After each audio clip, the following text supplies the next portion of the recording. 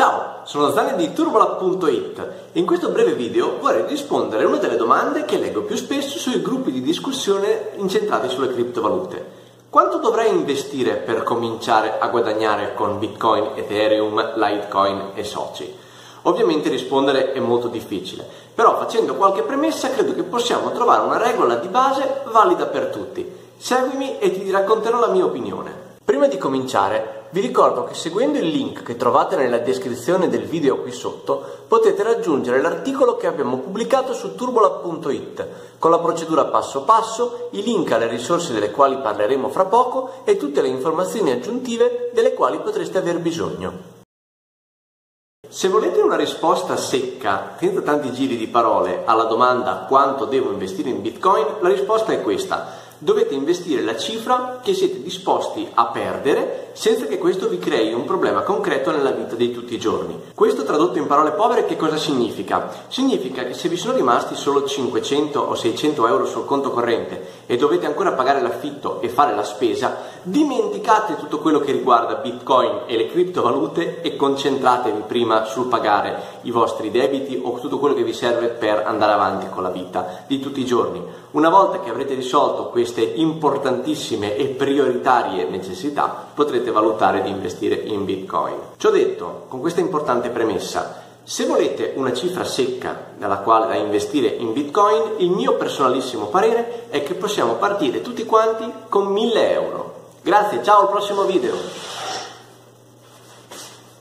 Scherzi a parte, come sono arrivato a questa cifra di 1000 euro? Seguitemi e vi argomenterò mia, il mio processo eh, mentale. Per prima cosa, permettetevi una piccola digressione. Io credo fermamente che ognuno di noi dovrebbe avere sul conto corrente sempre a disposizione una liquidità di almeno 2000 euro. Perché dico 2000 euro? Perché è una cifra che ci permette di gestire un micro micro imprevisto, ad esempio la necessità di cambiare un elettrodomestico, una multa come quella che ho ricevuto negli ultimi giorni da quasi 400 euro, maledizione, oppure un periodo nel quale non possiamo lavorare, un piccolo infortunio, eccetera, eccetera. È una cifra standard che dobbiamo mantenere tutti quanti sul conto corrente, perché in questo modo non dobbiamo avere l'incubo di rivolgerci a prestiti o fidi alla primissima e ad ogni difficoltà che ci presenta la vita. Quindi abbiamo, abbiamo un micro salvadanaio da giocarci per gestire le emergenze. Ovviamente questa cifra è un micro micro tassellino di quello che potremmo pensare di avere, però è un buon punto di partenza. Quindi 2000 euro è la liquidità da salvadanaio che io consiglio di mantenere sul conto. Mi è perfettamente chiaro che quando parlo di 2000 euro, da un lato, per chi ad esempio ha un lavoro precario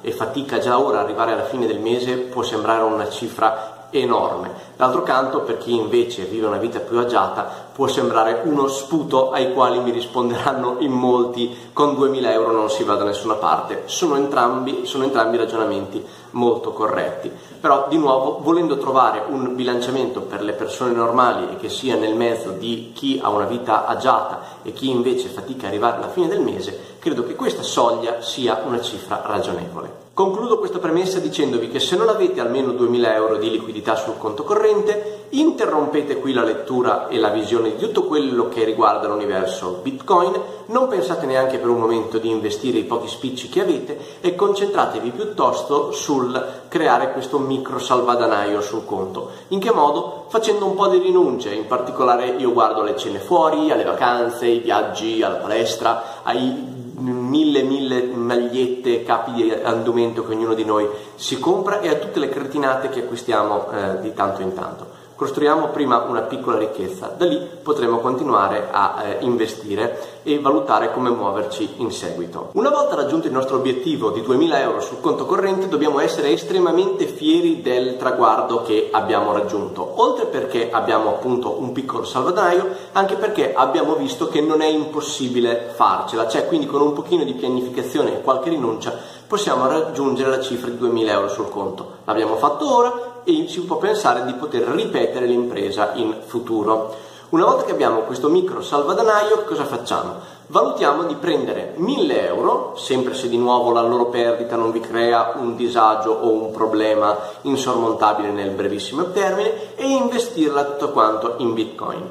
Perché parlo specificatamente di 1000 euro e non ad esempio di 500, 100 o 50? Dunque, si può investire in criptovalute partendo con qualsiasi cifra, quindi anche 50 o 100 euro vanno bene.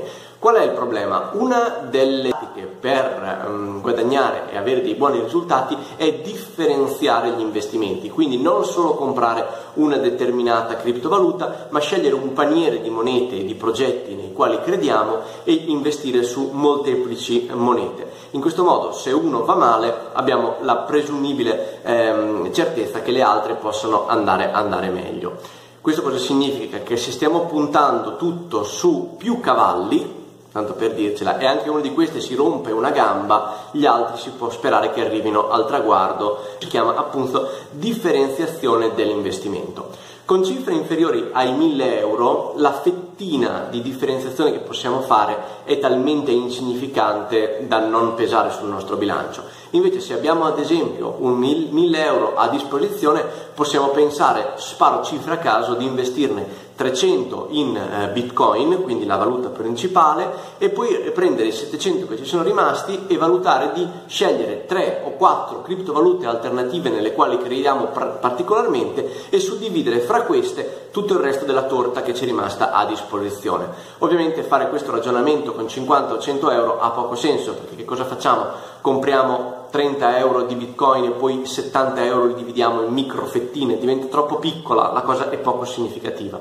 Quindi di nuovo la mia personale raccomandazione è di partire con 1000 euro. Per inciso, se volete investire cifre minori di eh, 1000 euro, come dicevo, è possibile farlo, ma non potete fare una grande strategia. In questo caso prendete il vostro piccolo gruzzoletto, che siano 50 o 100 euro, scegliete una criptovaluta, una sola, e puntate tutto su quello in modo da non fare mille fettine come dicevamo prima. Quale potrebbe essere questa criptovaluta? Personalmente raccomando Bitcoin, semplicemente perché è quella più grande, più importante ed è anche quella che ha un andamento ragionevolmente che guida il resto del mercato. Quindi è un pochino l'investimento più sicuro rispetto a tutte le alternative. Se per caso per mille motivi non volete puntare su Bitcoin, la mia personale raccomandazione è di scommettere su Litecoin, che è una moneta molto simile, tende a seguire Bitcoin abbastanza da vicino e per molti versi è anche tecnologicamente superiore. Quindi piccole cifre mm, scegliete tra Bitcoin e Litecoin, non fate grandi strategie, puntate tutto lì, non vi aspettate però eh, ritorni colossali, è più che altro per chi gioca con queste piccole monete la voglia di sperimentare e di provare che sicuramente è, bu- è un buon proposito ma non permette certamente di guadagnarci tanti soldi. All'estremo opposto apro un piccolo inciso su chi ha disponibilità economiche maggiori. Dunque, io tutti gli eh, esperti di consulenza ho, eh, di cui ho letto le argomentazioni, i, i, trattati, i testi, eccetera, consigliano di investire in criptovalute una cifra compresa tra il 5 e il 10% del proprio capitale totale. Quindi ecco che se in banca abbiamo 100.000 euro, complimenti, potete pensare di investire in criptovalute una cifra compresa tra 5 e 10 mila euro, a seconda di qual è il vostro personale sentimento ehm, circa l'andamento di questo mercato in futuro. Se invece avete una disponibilità economica maggiore e state facendo delle valutazioni di investimento in criptovalute, non posso consigliarvi perché non sono un promotore finanziario ma sono semplicemente un tecnico, vi raccomando caldamente di rivolgervi a qualcuno che eh, ha le capacità e le competenze di consigliarvi un buon investimento.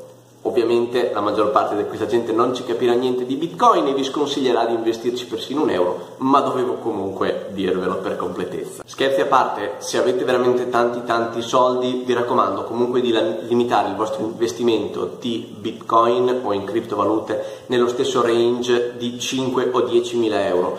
Vi dico perché è comunque un investimento estremamente estremamente rischioso perché il mercato è molto volatile quindi potreste veramente perdere tutto quanto domani mattina. È chiaro che se avete tanti soldi non attribuite a 10.000 euro lo stesso peso che eh, attribuiamo noi persone normali, però ecco, stiamo comunque parlando di investimenti importanti.